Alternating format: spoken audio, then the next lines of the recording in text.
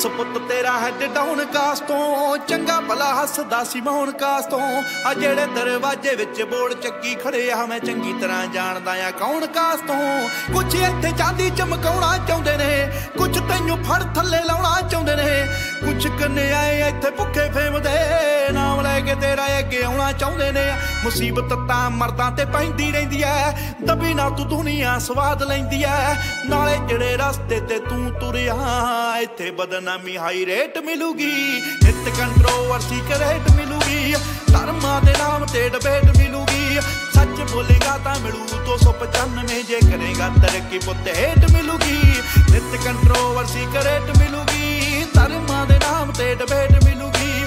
ਸੱਚ ਬੋਲੇਗਾ ਤਾਂ ਮਿਲੂ 295 ਜੇ ਕਰੇਗਾ ਤਰੱਕੀ ਪੁੱਤ ਹੇਟ ਮਿਲੂਗੀ। ਅੱਜ ਕਈ ਵਿਚੋਂ ਸੱਭਿਆਚਾਰ ਜੁੱਟ ਕੇ ਜਣਾ ਖਣਾ ਦਿੰਦਾ ਲੱਗੇ ਰੱਬ ਜਿਵੇਂ ਹੱਥ ਖੜੇ ਖੜ ਗਿਆ। ਪੜਾਂ ਜਦੋਂ ਸੁਬਾ ਅਖਬਾਰ ਉੱਠ ਕੇ ਚੁੱਪੜੇ ਉਹ ਪੁੱਤਰਾਂ ਦੀ ਪੇਦ ਖੋਲੀ ਦੇ। ਲੀਡਰ ਨੇ ਇੱਥੇ ਹੱਕਦਾਰ ਗੋਲੀ ਦੇ। ਉਹ ਜਿਨ੍ਹਾਂ ਦੇ ਜਵਾਕਾਂ ਦੇ ਨਾ ਜਾਣ ਤੇ ਸਟੀਵਿਆ ਰੱਖੇ ਬਣੇ ਫਿਰਦੇ, ਉਹ ਮਾਂ ਬੋਲੀ ਦੇ। ਆਓ ਝੂਠ ਮੈਨੂੰ ਇੱਥੋਂ ਦੇ ਫੈਕਟਰੀ